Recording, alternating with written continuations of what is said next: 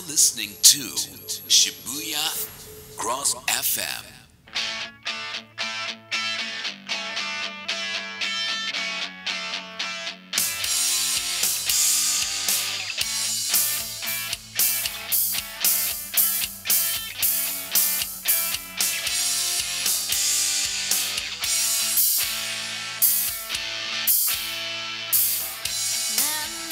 はい、皆さんこんにちは。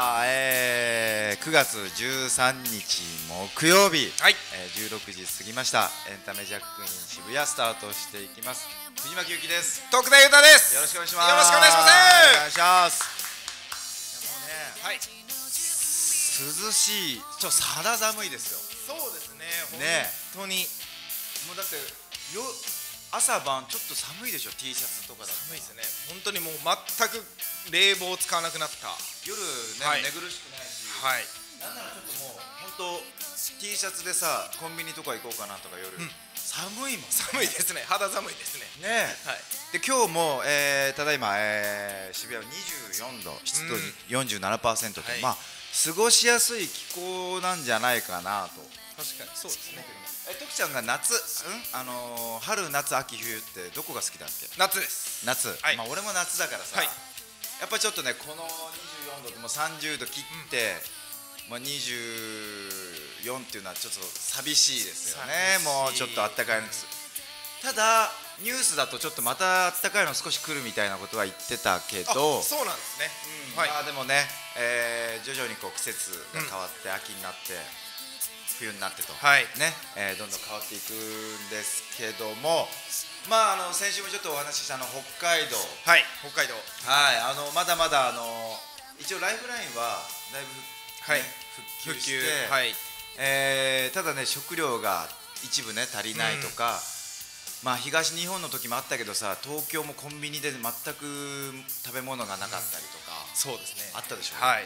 あのー今そういう状況が続いてるらしいですね、あのー炊き出しとかはい。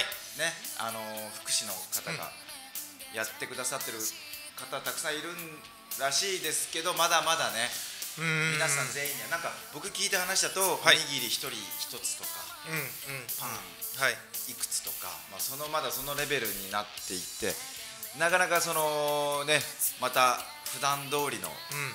生活ってもう少しね時間は年内もしくはね年越えてしかも北海道ってさ、はい。冬はもうそうですね。雪がはい。とかで、復旧復興にも少しね、うん。なんていうのかな時間かかっちゃったりするのはい。かもしれないのでね、あのまあ焦らずにそうですね。はい。えーゆっくりとというかね、えーなってもらえればいいかなと思います。さあ始めていきましょう。はい。エンタメジャックイン渋谷この番組は新車最安値更新中100%新車館と宮古島レンタカー宮レンさんの提供でお送りいたします。はいよはい。はい。さあはい。俺さはい。今日朝のニュースで、うん。びっくりしたんだけどもタッキー引退。確かに出てましたね。滝沢秀明さん、はい。あのジャニーズのもう、はい。なんだろうジュニア時代ジュニア時代もう改め改めじゃもうすごいさ、はい。あのー、なんていうのかな。一時代を築いた人？そうですね。がはい。まあ引退というかびっくりしましたよ。うびっくりしなかった？いやびっくりです。ねえ、はい。本当にびっくりですでそして今引退ラッシュって変な言い方だけどうん。実は9月16日に安室さんが引退、はい。歌手をね引はい。退するということで、そしてスポーツだと昨日杉内、はい。左のね、はい。ジャイアンツと、えー大英ソフトバンクはいで活躍された杉内投手が、まあ、引退と。でつい先日村田す中日選手。そうそう村田さんが引退、ですね。はい。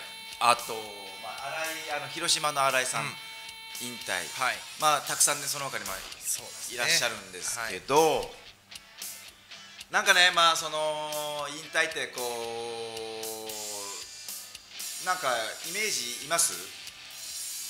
自分にとってはい。引退その、引退という言葉ですか？言葉だったり、はい。その引退の印象に残っている選手とか、うん、うん。ちなみに俺は、まあ、引退っていうとちょっと古いけどスポーツ選手になどうしてもさ、スポーツ選手の方が引退っていう言葉が似合ったりするでしょ、はい。つきものだったりするでしょ？やっぱりね衝撃だったのがあのサッカーの中田秀うん。中田秀秀。俊はい。選手当時ね、まあその全盛期ぐらいだった、えー、と2006年のドイツワールドカップの時に、はい。最後負けて、うんうん。ピッチの上でこうねはい。寝そべってはい。泣いてて、え何なんだろう？と思ったら現役引退と代表引退じゃなく現役引退、現役をうん。で当時はあんまり多く語ってなくてあの後々さもう12年12年かはい。ぐらい経ってるから、テレビでこうなんだ皆さんの想像の中田秀っていうかその想像の通りのプレーができなくなってきてたのがあったの、当時29歳ですよ、29で。まあだからサッカー選手でいうと多分もう一番全盛なのかぐらいの時に、そうですまあ、そういうふうなことを言ってうん。まあ引退されたと。なんだかそうねびっくりしましたよ。衝撃ですよね。俺にとっては衝撃でしたね。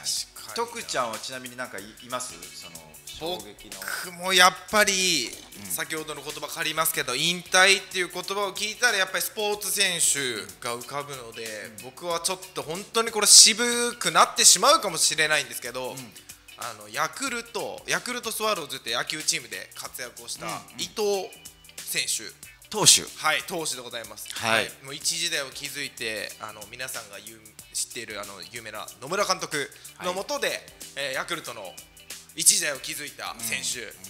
デビューから本当に最多勝上げてスライダーといえば伊藤っていまだに野球が好きなら皆さんおっしゃると思うんですけど、まあ、その選手が怪我をして最後2軍で投げるんですけど、150キロを当たり前のように投げてた選手が引退試合でえー投げた球速が106キロ、106キロですからね。ね。はい106キロです。衝撃でしたね。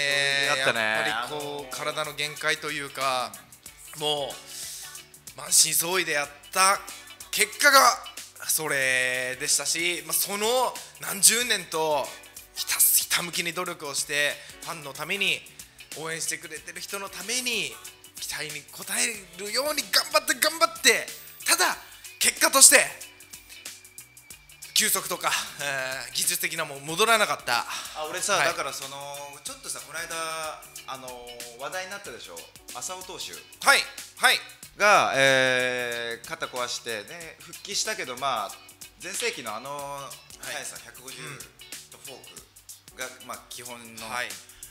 まあ、あとパームとかもいろいろあったけど、はいね。ただまあそのでちょっとさツイッターでサファテかな、がちょっと酷使させすぎたんじゃないかと、うん。当時ね、うん。うん。あ落合監督、はい。っていうので、えーツイートしててでそれに本人の浅村浅尾さんが、浅尾投手がいやそんなことないと。使ってもらって選手はなんぼですっていうね、返信をしててああなんかこうまあ海外の選手ってやっぱさ酷使はい。させないようにとかもうそれが頭に根付いてるしただまあその日本人はそのなんていうのかな使ってもらってなんぼっていうか、ありがとうございます。これ日本のまあよしあし分かれるけど、はい。文化なのかなと、はい。ありがとうございますって使っていただいてですね。そうはい。まあ結果それで壊れたか分からない。もしかしたらあの連投してなくても壊れる方だったかもしれない、そうですね。はい。分からない。こればっかりは分からない。けれどももう俺ちょっとさ読者にあのーずーっと言うでしょ。甲子園のはい投手高はい。校生が、はい。あのー吉田投手だっけ？今はい年も、今年のはい。金足農業、はい。めちゃくちゃ一人で投げたじゃない？ですね。まあ決勝大阪桐蔭にはい。ボコボコに打たれちゃった、まあ、ちょっとレベルが違いぐらい打たれたけども、あの問題さ、はい。あるじゃない、はい。どうですか？あのー、なんていうかな？投げさせすぎなんじゃないかとかさいろいろ報道されるじゃない、はい徳ちゃん的にはどう考えるそうですね球数制限ありますけどの、はい、僕はもし自分が吉田投手なら、はい。絶対にはい。投げたいですし、うん。何があろうとも、うん。甲子園最後まで、うん。自分が投げ抜くぞっていう気持ちが勝ってしまうので、うん。正直な話未来先のことを考えずに、うん。今に一生懸命投げると思うので、うん僕は球数制限については、うん。ななしの方がはい。なし、うん、止めれないんじゃないかなと。だって投げたいんですもんっていう気持ちがやっぱ強いんじゃないかなと。ああなるほど、はい。あじゃああーとどっちかというと投げたい意思を尊重してあげたいと。尊重します。はい。なるほど。じゃあ仮に痛くても？痛くてもその最後はけ自分の判断だと思いますし。はい僕は、はい、わかります僕がもし痛くても。いや急に熱量入ったからびっくりしちゃったなと思って、はい。僕は痛くても多分試合には出たいです。あじゃあ負けてもいい？はい。いや負けない。え負けない。でもやっぱさ、はい。まあ負けるか分かんないけど、はい。やっぱ痛かったらクオリティは落ちるわけじゃんパフォーマンスは、それでも俺が投げるあの陳腐な言葉になってしまいますけど奇跡の力信じます。とお根性を見せます僕はそれそれしかないんで、はい。僕という人間ですけど、ん。はい、歯食いしばって、根性で行く人だったんで、なるほどなるほど、ただ俺はねあのーすごくその気持ちも俺もさ高校時代、はい。あのー部活やってたしその気持ちわかるんだけどその後の人生を考えてあげて、はい。プロね吉田君行く行きたいみたいなことも言ってるし、その吉田君だけじゃなく他の選手もあるじゃない？そのその先の道。そうですね。まあ、プロ野球選手ならなおさら、酷使するとやっぱさ、ねそれは影響してくるじゃない、はい。で長くやってる実は長くやってるえっ、とプロでけ長くできてる人って大半高校野球あんまりやってない人なんですよね、実は。甲子園に大会出場してない選手が多いんでがすね。多いんですよ、はい。実は。実はそうなんですよ、はい。そう上原さんとか黒田さんとか、みんな40過ぎても活躍した人って実はあんま酷使してない人なんしてないですよね。選手が。はい。それこそさ杉内さんもか鹿児島実業かあれ。ですかね。ね果実。で、はい。えっと松坂が選手も横浜、はい、まあ、30何万いや長い方だけどさ、はいめちゃくちゃ長い方ですね。長い方だけども、まあ今もうもうこの45年怪我怪我で、うんうん。肩をかばって腰膝肘はい。ってなっていくでしょ。だからまあその分かるの。本人が当時投げたい。ただ言うても18歳の子供です。はい。子供って言い方失礼かもしれないけどまだ将来のこと分からない。目の前で精一杯それでいいと思う。でも親だったり教育者だったり周りが止めてあげることも俺はちょっと、その子の今後を考えるとそういうルール作りもしてあげた方がいいんじゃないかなと。まあそれでも投げたい。っていうならまあ分かった。でもごめんルールだって言ったら監督コーチもごめんルールだから変わったからしょうがない。この中でやっていこうと、はい。そしたらもしかしたらチーム編成も変わってくるかもしれない、スカウティングも変わってくるかもしれない。一、人だけに投げさせたら投げさせられないから試合のルール的にね。そうです。ならいろんなとこを目つけてスカウティングももっといろんな目を広げて、はい。もっと多くの人に高校野球野球を知ってもらえたり、はい。い、ろんなスポーツ野球だけじゃなくてそうですね。はい。サッカーもそうだし、あのーラグビーもそうだし、はい。っていうふうに発展していくんじゃないかなとまあっていう意味も込めてルールその球数制限俺はしてほしいなと思うタイプで、っていう感じなんだよね。投げたいのすごくわかる。かっこいいし松坂投手なんてさもう化け物だったから。バケモンですね。伝説ですからね。あのー最後のさ、はい。ノーヒットノーラン、その前も前も前も前も PL からの、はい。すごかったんだけど相手もだ伝説は残んない作るもう作られないかもしれないけど、選手を守っていくルールなら僕は大賛成というか、ただここで難しいのがいや僕はプロに行かないよ、うん。うん。ここで野球人生終わるんだ。っはい。ていう人にとったら球数制限嫌かもしれないよね。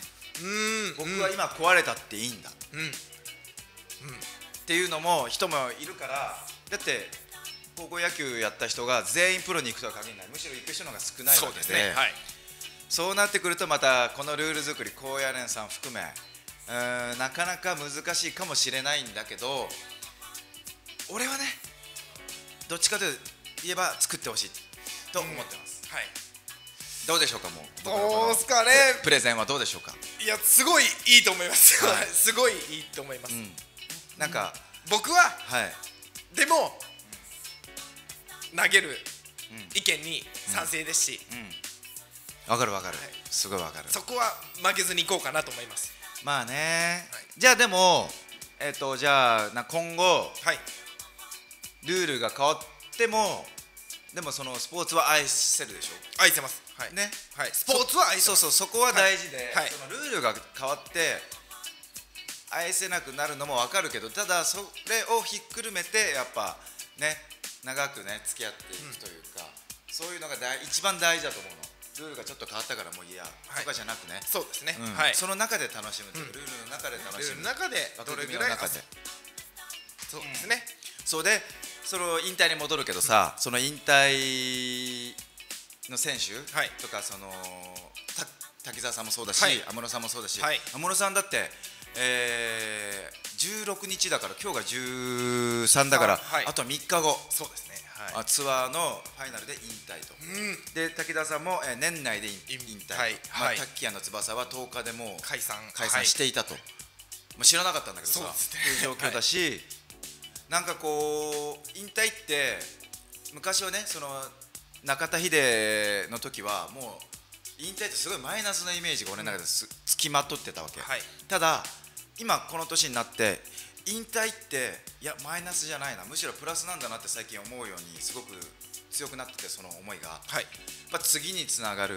で次へのステップアップだったり、まあ、第二の人生って言い方変だけどその物事は引退するかもしれないけど人生の引退するわけじゃないので、うん。僕はそこのなんだろうむしろ背中を押してあげたいというか、うん。滝田さんなんてその裏方に回って、はい若手をこう育成だったりその事務所をはい。なんちゃらとかいろいろあると思うのでそれにこう尽力もう尽くしてよりなんだろうなあやっぱすごい人だだなとか安室さんもね次何やるかちょっとまだわからないけど、ですね。はい。何か多分あると思うの、うん。少しまあ休憩したいということもあるだろうしもうスポスポーツ選手もそう、はい。コーチだったりもできるし解説もちろん解説もできるしもしかしたら監督やるかもしれないそうですね。方もいるし。はいまたそういうのが人生って素晴らしい。なんかうん。人生論語るつもりないないんですけど、そういうなんかそれが生きていくって楽しいんじゃないかなっていうふうに思うから、はい。ぜひね、あのーまあ、最後の最後まで、あのーまだあると思うのでね、えー皆さん頑張ってほしいしその引退した以降もね素晴らしい人生を送ってもらいたいなって、切に、うん思います。素晴らしい意見ですね本当に。いや本当ね思っちゃう。最近本当。素晴らしいですよね、はいでちなみにさ、はい。俺たち男の意見だったじゃん、はい。引退って。でさっきねスタッフさんに聞いたの、うんうんうん。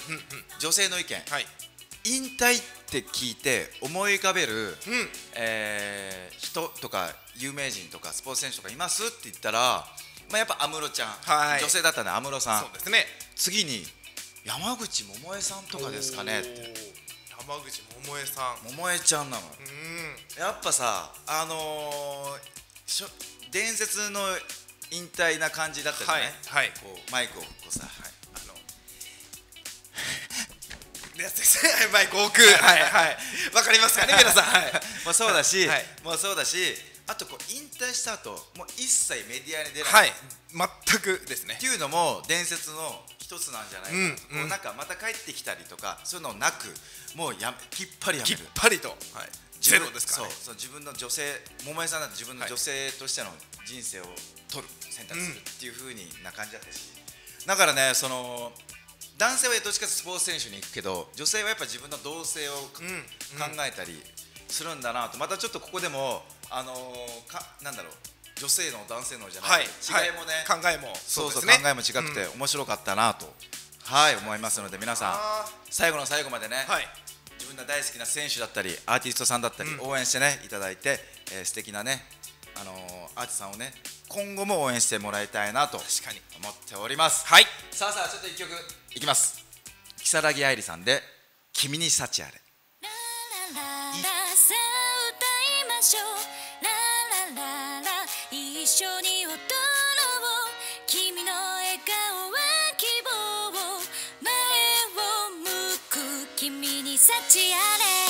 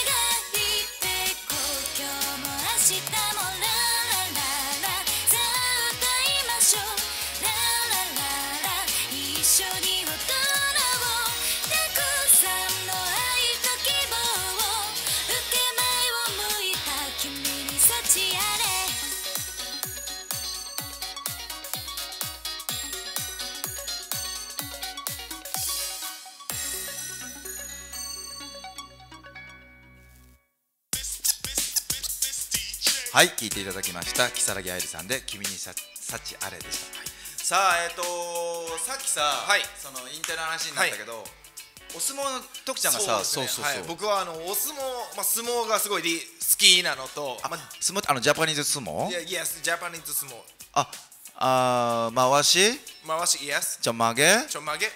ちゃんぽん？ちゃんぽんちゃんちゃんこ。ちゃんこ？ちゃんこ相撲相撲いやいや相撲イエスあはい相撲はい相撲なんですけど、まあ僕ねまあ大好きだし、はい。まあそのね人生唯一のスカウトが歴史ということもありましてまあそういうこともあって相撲が好きなんですけどそうだよはい。だからか。そうそうそうはい、僕はあのずっと高校時代ラグビーをやってたので、はい。あの人とぶつかってコンタクトスポーツだったので、やっぱりぶつかる時にどうしたら強くなれるか考えて相撲とかよく見てて勉強になるかなと思って他のスポーツから学ぶことという意味でたくさんスポーツを見てお話もいただいたりしましたけど、まあ、そういう意味で相撲の話を少ししたいなと思うんですけど皆さんあの稀勢の里っていうこ僕ね実はこのラジオで一度ちょっと稀勢の里関に触れたことあるんですけどあしこ名で多分触れたんですけど稀勢の里のしこ名ってまあ稀に見る勢いであの出世したから稀勢の里っていうんですけどはいはいはい。しこ名なんですけど、はい、で6場所ぶりかな？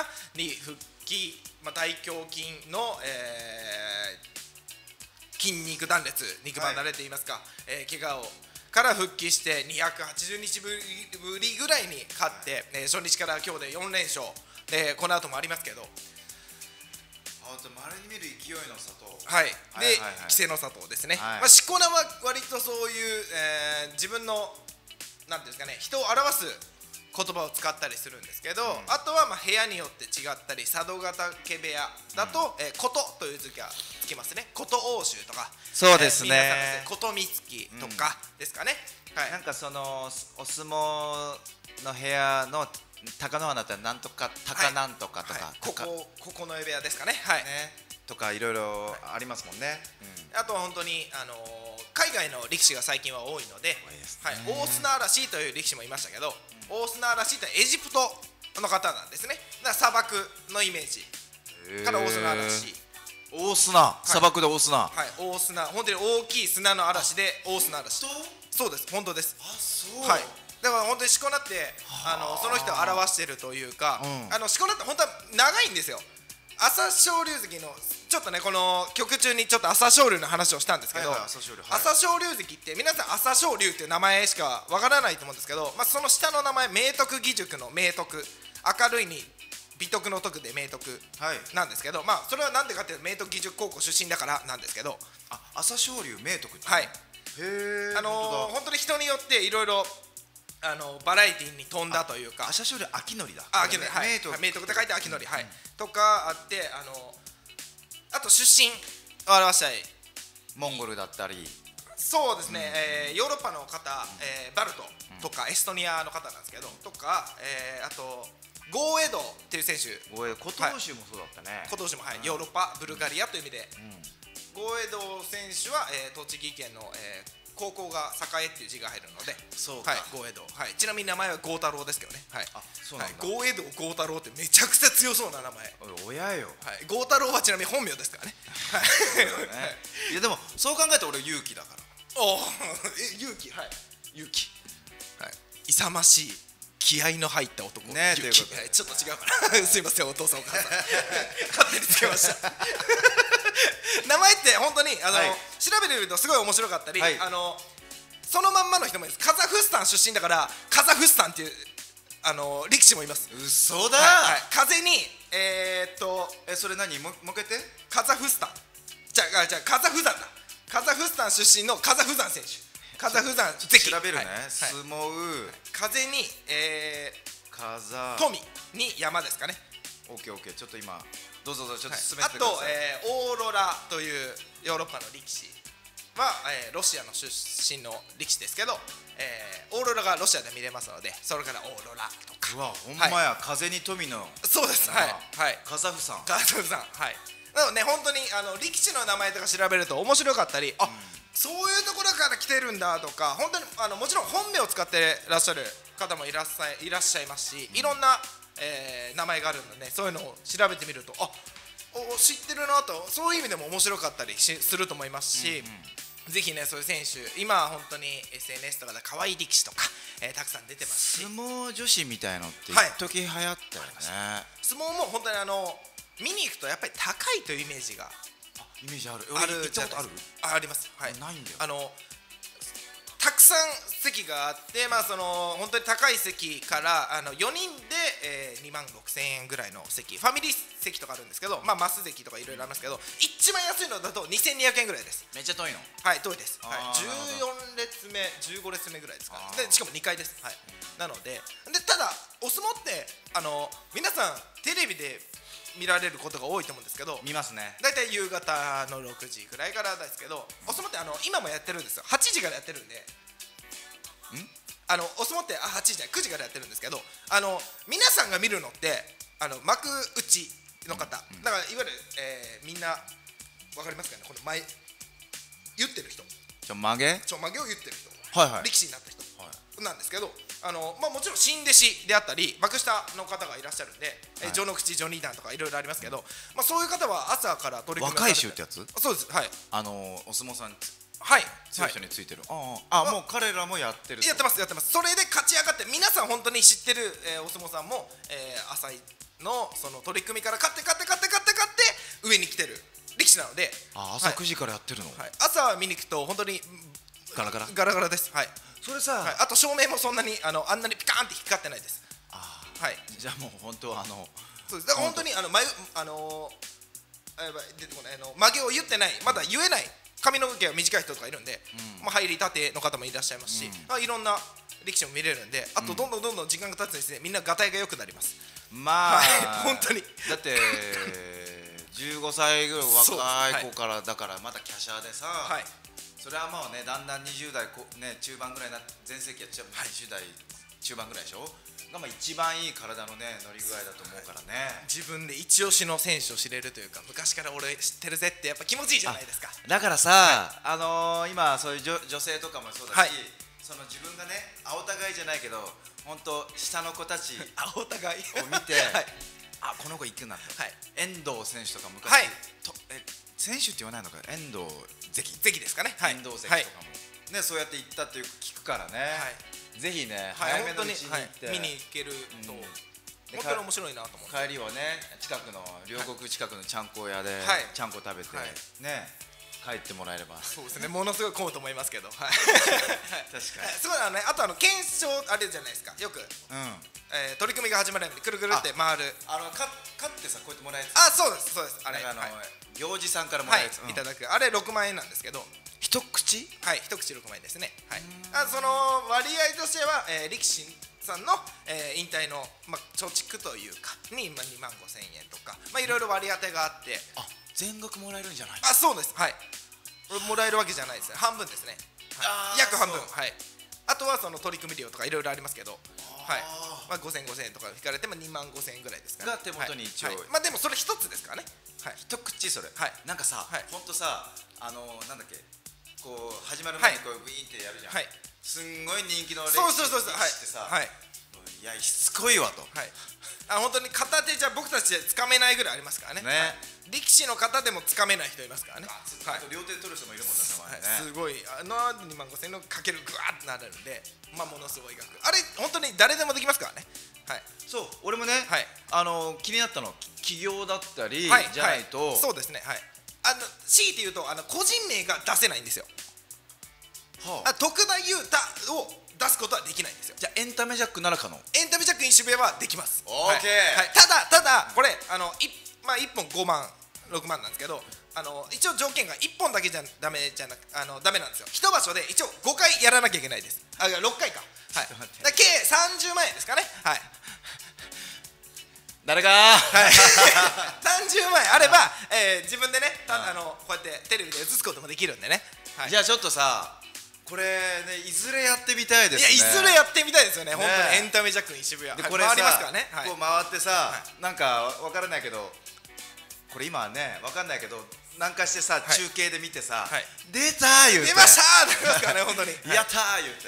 やりたいですよね、はい、編集はつけるんでね。うん。そういうのもありますし。はい。はいはいはい。はいはいはい徳い。やちょっと話お落ちちゃったけど、はいはい。徳ちゃんって今お相撲さ、はい。詳しいし引さっきな引退のはい話俺したでしょ、お相撲さんのはい。引退で印象に残ってる人っている、えーもうやっぱり千代の富士的だと思います、はい、僕は正直リアルタイムではないんですけど見てはないんですけど、まあ、動画とかでちゃんと拝見をして、まあ、あの名言と言いますか、うん。もう今伝説みたいになってますけど体力の限界という言葉、はい、重い言葉ですよね。ねえ、はい。本当あれ俺もさ俺もなんだっけリアルタイムじゃないんだけど、まあ、ゆね動画よく見るじゃない。かっこいいし、かっこいいですね、うん、でか男前だし、はい。あの筋肉筋骨隆々です筋骨隆々か、はいもうさ、い相撲さんじゃないないみたいなあのせんあの千代の富士関は右肩の脱臼癖がありまして。で脱臼するためにあのどうしていいか考えたんですね、よしじゃあ筋肉つけようって言って。骨が抜けるんだったら筋肉で固めようって言って。周りを筋肉ではい。腕立て伏せをめちゃくちゃしてでもうあれぐらいの体を作ったっていう割とそのウェイトトレーニングとか力士はそんなしないイメージが皆さんあると思うんですけど、まあ、そういう意味でも新しいの入れた、はい、ランニングで取り入れたりとか、はい輪島関とかいますけど。だからし脂肪がない感じなのよ。そうね。筋肉、はい。もうバブキーンになってますそうなの。はい。バキバキです。からこいで顔もかかっっこいいさ。こいいですね。俺ねウルフ、はい、確かそんなに体を背大きくない選手なイメージなのそうですね。周りのやっぱ力士の方がでかいイメージがありますしはい。であんだけの大横綱になって、でなんかさちょっとこれ語り継げられてるのがあの貴乃花のはい。お父さんはい。が大関でまあ、はい。引退するきっかけとなったのが千代の富士に負けたからと、うんうん。でその千代の富士ももう晩年、はい。まあい今の貴乃花はい。親方が若手で来てて、はいぶん投げられて、はい。でそれで体力,、はいえっと体力の限界か。って引退、はい。こうなんかこうはい。親子二代というかつながる。はい。不思議な因縁というか不思議な関交わりがあったっていうのを聞いて、あ面白いないやすごい面白いですね。こういうのさ少し勉強していくといろんな人との掛け合い、はい。あの俺とさっきもね歌の話中でちょっと話したけどあの朝青龍関って言ったじゃない、はい。すごいもうさ、えモンゴルの、まあはい。スーパースターというか。スーパースターです。ね日本でもすごい強かった、はい。ものすごい強かったです。はい。ね、はい。が若手の頃、まあ、全盛期の貴乃花とガッツァ組んで、はい。でまだ若手だからさ朝青龍負けるぶん投げられて負けるんだけど、はいね。もうものすごく悔しがってるのを見て、あガチなんだなっていうか、あそうですね。なんか少しちょっとあれだけどお相撲ってこれまあなんだろうちょっとこれどどうなんだろうって思う時があったの。本気なの。なんかねなんて言えばいいのかな。なんか簡単に投げられてる時が見えた時あったの。へえ。ただ、あの朝青龍関見た時あガチなんだな。うん。ガチで。それがその外国勢特にモンゴルの方のはい。魅力というか、あこいつら本当すっげえぜ強いっすね。ガチでこうガチなんだな、ガチンコで悔しがってるしまあそのね土俵の上ではそうあんまそうですね国技なので一応あのガッツポーズとかはい。そういうのは一応禁止。禁止というか暗黙。暗黙でね、って言われてるけどなんか新鮮でわなんなんだろうかっこいいなっていう感じに思ってしまって。でまあ白鵬はい。さんが出てきたりとか、い、ろいろ出てきて。そうですね。そうね。なんかスターが一人出てきたらもう一人スターが出てきて、でライバルになってうん。盛り上がって、でそれに勝ったらもっと盛り上がってみたいな。そういうなんだろうな今だから稀勢の里選手が日本人で唯一の横綱はい東の横綱ですね。ですよね、あとはあと4横綱いてあと3人モンゴルだよね、はい。確か。ですね今。あ。えーはえー白鵬。とそっか春馬富士やめてしまったので、はい白鵬とはい。白龍。白龍。鶴竜です。鶴竜はいはい。鶴ですね。はい。はい。俳優さんだ、はい。白龍さんとあと稀勢の里。鶴竜さん。はい。あの稀勢の里選手、ああ調べましょうか今。はい。で確か3人だと思います。横綱。横綱。うん。春馬富士さんがいた時は4人だった気がするんだけど。やっぱ好きなあの力士の方が出てくるんですよ、うん。見てくると、ん。でそういう決まり手であったり、あのーなんていうんですかね。その力士に合った勝ち方をやっぱ見てくるんでスタイルが分かってくるんで、この人とこの人がやったらどうなるんだろうとかすごい気になるんですよ面白くて。僕は千代大海関がめちゃくちゃ好きだったんですけど。千代大会突っ張り相撲。突っ張り相撲はい。はい。つ千代大海関は本当に突っ張りでのし上がった人なので、ただ、えー組組み手になるとそんなに強くない。言われてたんですけど、まあ、その中でもたまに勝ったりしますし本当にあやばい組んでしまったって思うシーンもありますし、本当にあの本当に正面だけでぶつかる人、えー、前の海関にかわす人。で、えー決まり手って今相撲82手ああるんですけど、えー今まで出てない決まり手多分4手ぐらいあるんですよ、まあ、何十年何百年間あって出てこないのもあるし本当にさ最近珍しいのは出てきたりしましたけどそういうのもまあ知っていくと新しい見方をすると思うんで、ぜひね相撲見ていただけるとなるほど、ね、いいなと思うんですけど、多分横綱さんじゃない、さんじゃない横綱がですね、えー。ちょっと調べて俺ね、はい。じゃあ俺の一番。はい。俺ここ一番ここ一番ってここが一番俺の中で好きな一番っていうのが、えー優勝決定戦の頃のはい。時の貴乃花と武蔵丸のはい。でみんなが印象に残ってるのは小泉さんがうんうんうんうん。感動したみたいな、はい。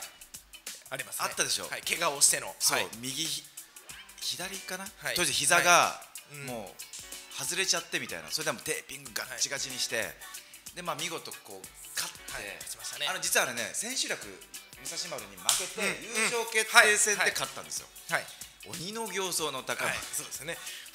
そうすごかったはい、はい、本当にこれ本当にちょっと今冗談みたいな感じになってますけど。冗談じゃない、はいはい、もっとすごいもっと本当にリアル本当すごい顔ですよね。あのどっかの、あのーサイトで絶対出てきます動画、はい。鬼神の顔です。ぜひ見てほしい、あれはテンション上がるからすごいですよね。覚えてるでしょ覚えてます覚えてます。もうカメラがちょうど下から撮ってるんですけど。そう。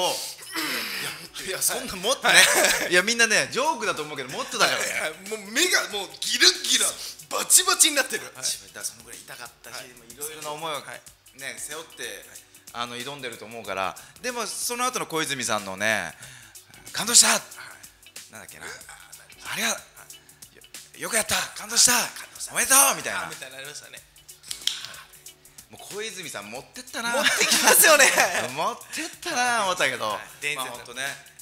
このぐらいの相撲で盛り上がる人もっと出てきてね、そうですね。はい。そ本当に規格外の力を持ってるせ力士もいますし今逸ノ城っていう力士もありますけど、うん。最近の取り組みであのし上からこうドンっていうあの叩きつけるみたいな叩き落としっていうのかなそれ。あのいや決まり手がですね、解説ちょうど舞の海関だったんですけど、これは決まり手何なんだろうねっていうぐらい力で勝つとかそういう取り組みも出てくるので本当あのーあのグラップラーバキの世界になる。男だって分かると思うんですけど。グラップラーバキ皆さん知ってる人少ないと思うんですけど、金龍山っていう選手が出てきますはい歴史だと、はい、グラップラーバキだと、はい、ねそんな感じでね。はい。はい。聞いていただいてですね、今の現役の横綱は3人ですね。はい。白鵬鶴竜稀勢の里ですね。ですね。はい。はい、日本人唯一の、えー横綱です。なんでね、はい。もっと他にもたくさん、出てきて。どんどんこれから。はい。はい。欲しいなと思います。さあそれでは一曲聴いてください、えー小川恵里さんで「スタートライン」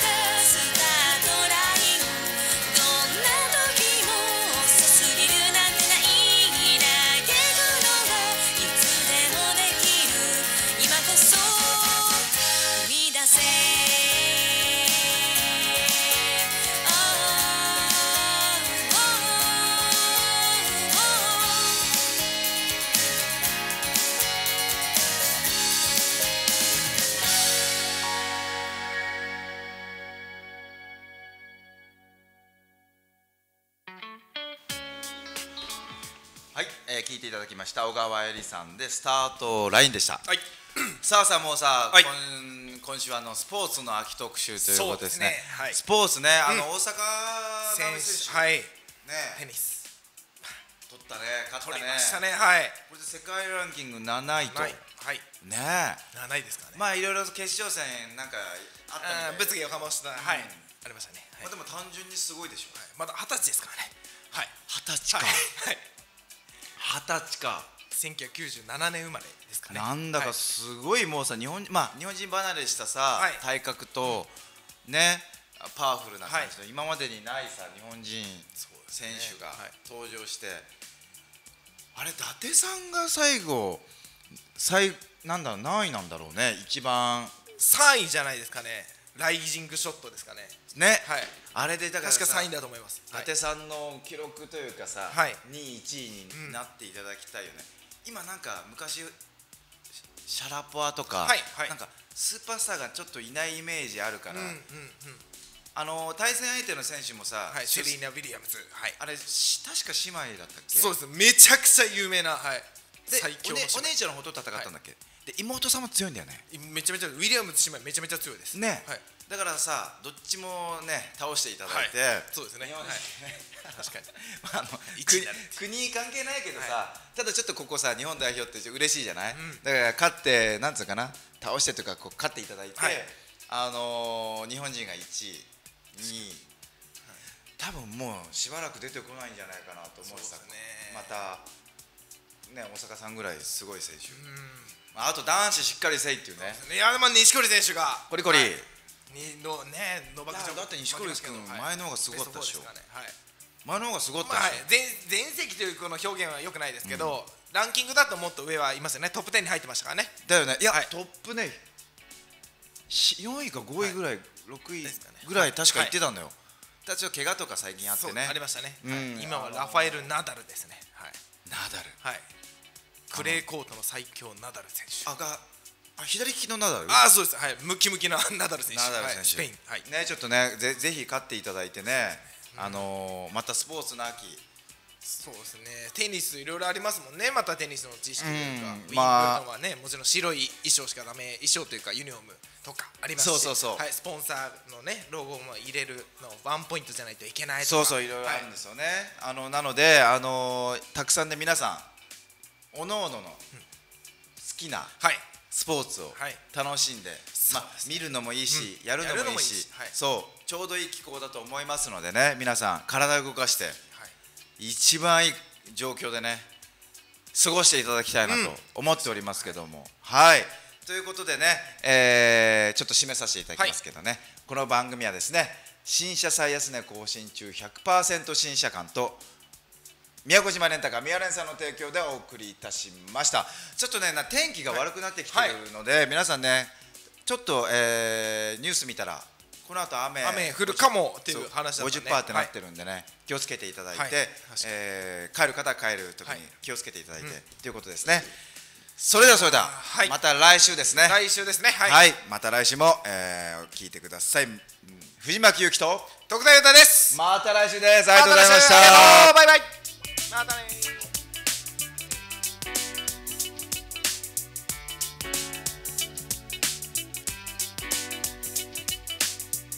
何ですか